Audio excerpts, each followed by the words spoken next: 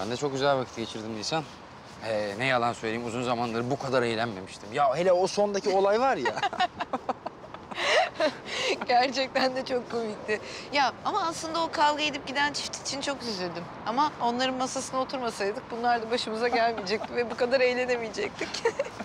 Nisan bak gerçekten çok şanslısın. Adam geldi böyle senin üzerinden güller atmaya başladı. İki tane de kafanda kaldı ya. Peki o garsonu pastayı koyarkenki sırıtışını ne yapacağız?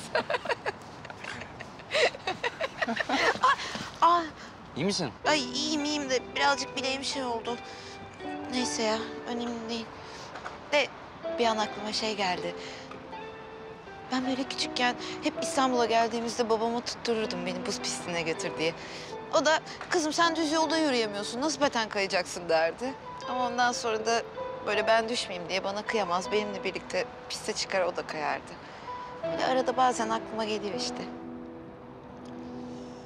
Gel benimle. Ne oldu nereye gidiyoruz? Soru sormak yok. Nisan biz arabayı nereye koyduk ya? Aa bilmiyorum ki. Hah orada gel. Nereye gidiyoruz? Sormak yok.